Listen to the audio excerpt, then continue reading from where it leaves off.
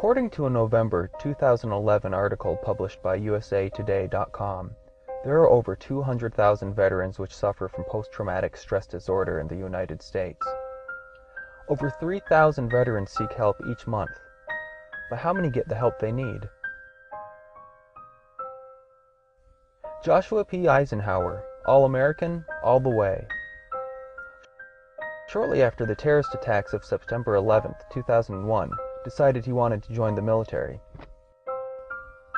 After researching his options and obtaining his associate's degree, he joined the 82nd Airborne four years later in the summer of 2005. When he enlisted, he was assured of quick advancement through the ranks, and that if anything should happen, injury-wise, he would be taken care of.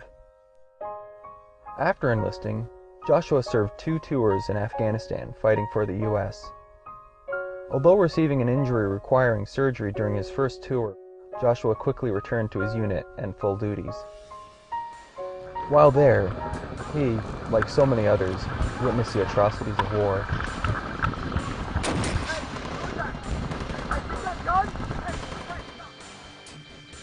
Regaining consciousness after a truck bomb went off, and going outside to organize a search for pieces of two buddies that had been blown up.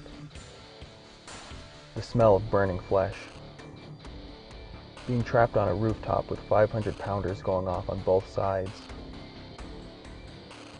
Seeing two of your own blown up, knowing that could have been you. These things are too much for anyone to take. After witnessing these things firsthand, Joshua started suffering from severe anxiety, a symptom of PTSD. Former Staff Sergeant Ryan Mitchell recalls, on the first tour to Afghanistan, Staff Sergeant Joshua Eisenhower, who we call Ike, was the team's M249 saw gunner and breachman when entering compounds. He was the glue that held the squad together. For the second tour, we were stationed at a tiny base in Afghanistan. It was a nightmare of suicide bombers, mortars, rockets, and small arms fire. On his second tour, after the truck bombing, Joshua began guarding the barracks at night while the others slept. His primary objective was the safety of his men. Former Staff Sergeant Mitchell also recalls, while sharing an apartment with Ike after our last deployment, I saw him suffer from nightmares and lack of sleep.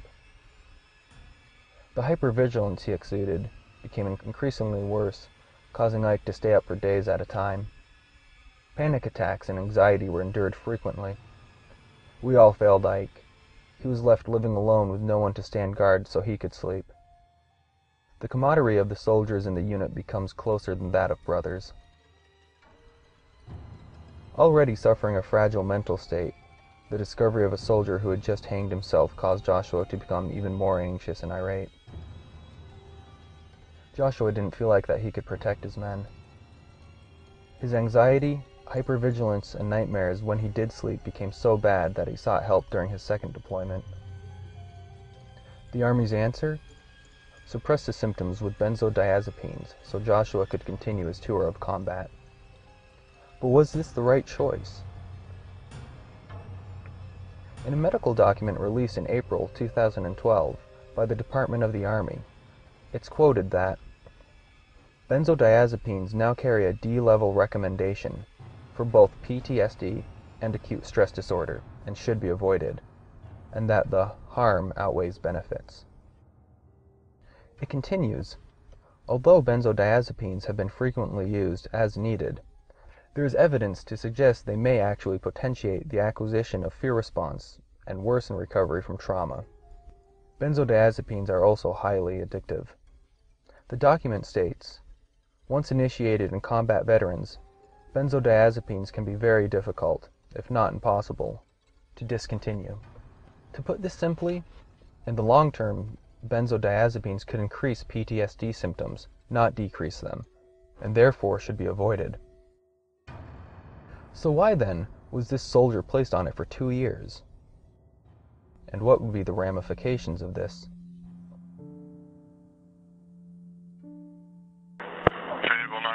Tell me what's going on. There, I live in an apartment complex. There was a fire next door. The fire department and the police station came, but the guy would not come in through the door, so they busted in the door. January 13th, 2012. Members of the Fayetteville, North Carolina Police and Fire Departments arrive at Joshua's apartment in response to a complaint around 10 p.m. Federal 911, what's the address of the emergency? This is the county with the transfer. I just CP'd the call over. He's at 1127 Cape Harbor Court. Uh, we just found we just found the, the the people that own that apartment and that they have it they're put they have it put out with their fire extinguisher.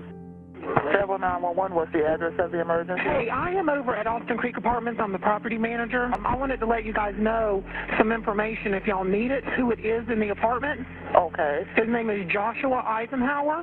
Okay, is there a particular reason why you think he might be firing the shots? Uh, yeah, because he is under psychiatric care and he is not well. With the knowledge that the property manager had been called over with the keys, and that the fire, which was actually outside on the back deck, was already extinguished with no sign of fire or smoke, it's questioned as to why it was felt necessary to break down the door and forcibly enter.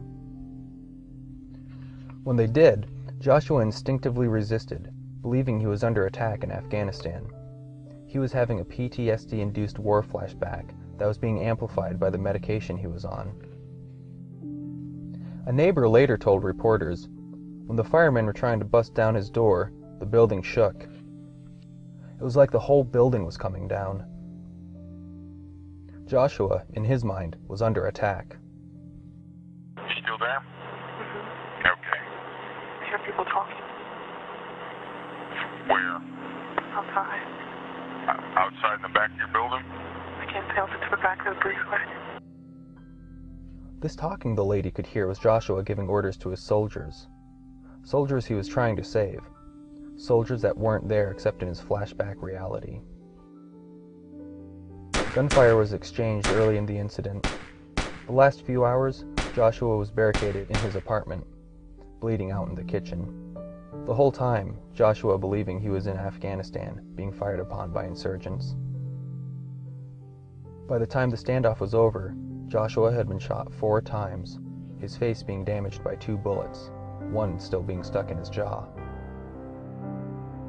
While it is very fortunate Joshua harmed no one in this incident, the district attorney in Fayetteville is still prosecuting a criminal complaint and has been holding him in jail since January 13th.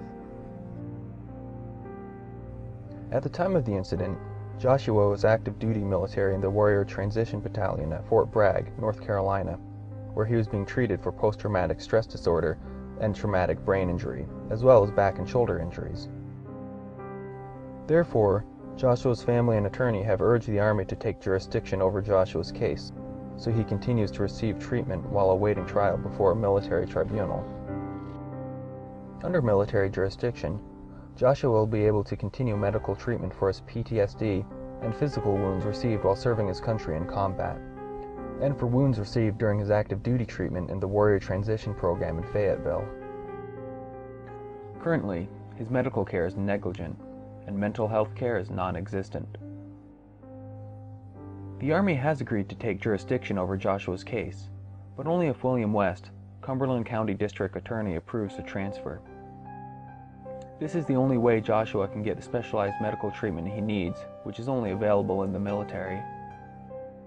Joshua's family and friends are encouraging support and asking for transfer of jurisdiction of Joshua's case to the Army. This is an American that needs help, an American who fought and was wounded for this country. In the words of former Staff Sergeant Ryan Mitchell, having the Army take jurisdiction over Staff Sergeant Eisenhower's case will show the world that we are committed to no soldier left behind.